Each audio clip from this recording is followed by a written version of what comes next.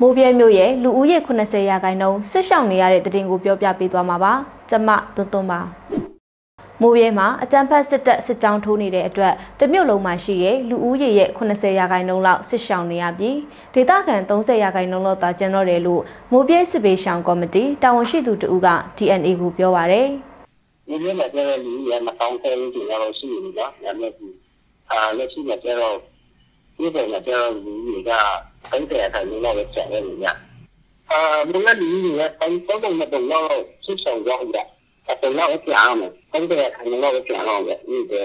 မိုးပြဲမြို့တွင်မှနေရာယူဖို့ကြိုးပမ်းတဲ့စစ်ကောင်စီတပ်ဟာတိုက်ပွဲတွေအတွင်းလက်နက်ကြီးတွေတင်ကားပစ်ကူတွေပါတုံးခဲ့တယ်လို့ဒေသကာကွယ်ရေးတပ်တွေကသတင်းထုတ်ပြန်ထားပါတယ်။ စစ်ကောင်စီတပ်တွေဟာနှစ်ဖက်တိုက်ပွဲမရှိဘဲနဲ့လည်းလက်နက်ကြီးတွေနဲ့ပစ်ခတ်နေတာကြောင့်မိုးပြဲမြို့တောင်ဘက်နဲ့အနောက်ဘက်ခြမ်းကနေအိမ်တွေကိုထိမှန်ထားတယ်လို့ဆိုပါတယ်။မိုးပြဲမြို့မှာရက်ကွက်ပေါင်း14ခုလောက်ရှိပြီးတိုက်ပွဲတွေကြောင့်မိုးပြဲမြို့ဒေသခံတွေက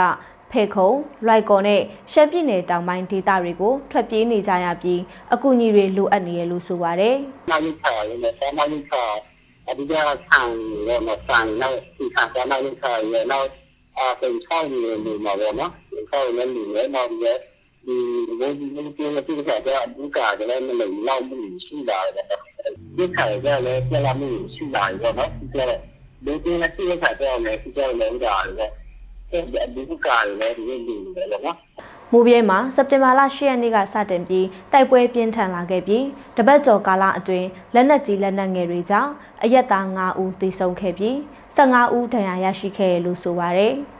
ကယားပြည်နယ်ကရင်နီမှာအာနာသိမ့်ပြည်19လအတွင်းတိုက်ပွဲပေါင်း454ကြိမ်နဲ့လေကြောင်းတိုက်ခိုက်မှု158ကြိမ်ရှိခဲ့ပြီးအရက်သားဖမ်းဆီးတပ်ဖြတ်ခံရတာ262ဦးနဲ့စစ်ဘေးရှောင်ရင်တေဆုံးသူ62ဦးရှိခဲ့တယ်လို့ဖမ်းဆီးခံထားရတဲ့အရက်သား262ဦးရှိရလို့တိုးတက်သောကရင်နီပြည်သူအင်အားစု PKPF ကစက်တင်ဘာလ1ရက်နေ့ကထုတ်ပြန်ချက်မှာဖော်ပြထားပါတယ်။